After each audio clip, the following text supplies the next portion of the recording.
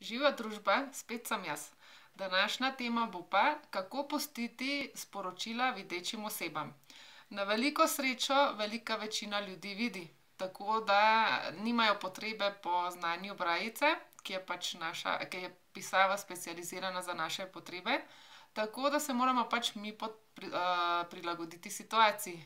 In se moramo naučiti, moramo, pač pride prav, če se naučimo pisati sporočila na tak način, da tudi, da jih lahko tudi videči ljudje preberejo.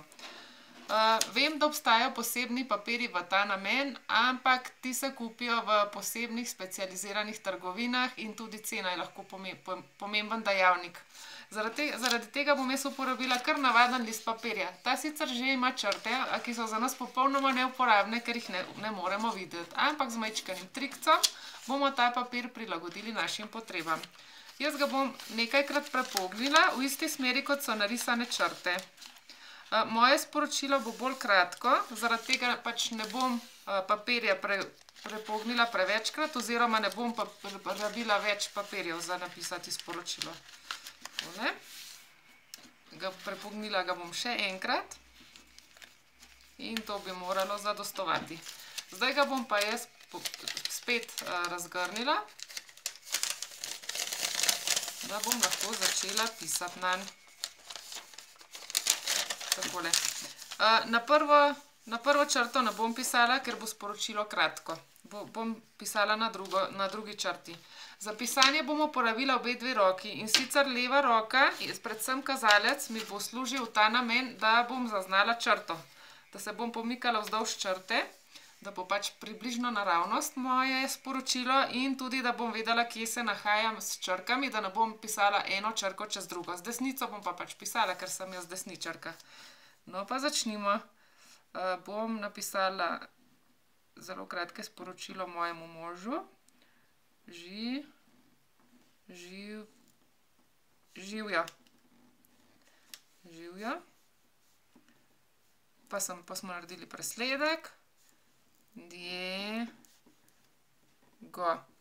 Ne vem, če ste opazili, da mi je kazalec tudi za orientacijo, do kam pišem črke. Ker s kemičnim svinčnikom ne, ne zaznam robu, tako da s prstom pa zaznam, kje je rob.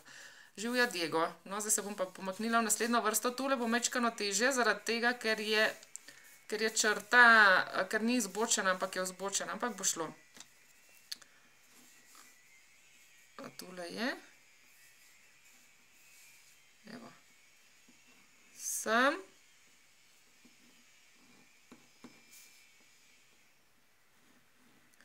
Pa presledek. V presledek. Pa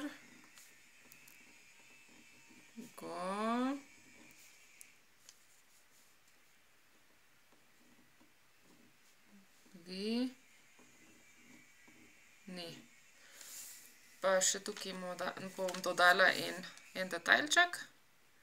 Rada te imam. In kljub temu, da je zelo očitno, kdo je napisal to sporočilo, ker moja Liza zna pisati brez tehle črt, ampak jaz še vseeno rada na koncu vedno dodam moje ime. Jana. Evo.